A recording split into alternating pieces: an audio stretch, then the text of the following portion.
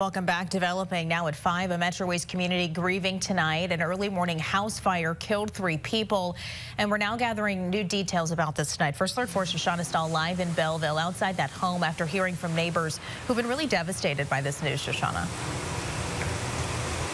Yeah, Sam, that's right. And I even talked to family out here earlier when they came back by the house to look at just how damaged it was from that fire. They said they weren't ready to talk on camera just yet. But one woman I talked to said it was her dad, her brother, and her son-in-law that all died in the fire earlier this morning. And right now, they're just still trying to process all of the loss.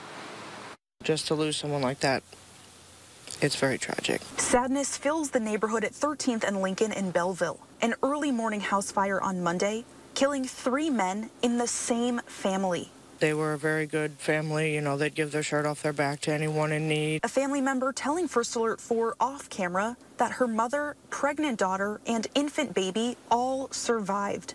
She says her daughter jumped out of a window with the baby in hand to get to safety.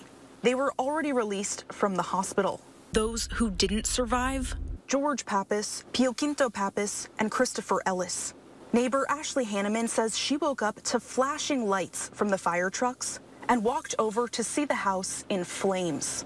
It's definitely very scary um, that fire can do that to something. While other neighbors like Brian Smith right next door had a completely different wake-up call when his wife heard someone banging on their door realized that somebody was trying to tell us to get out of the house because our neighbor's house was on fire.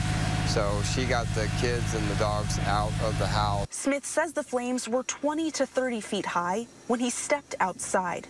Proceeded to come outside and try to hose off my side of the house because my siding was melting off of my house and my grass close to my house was on fire already. Very scary.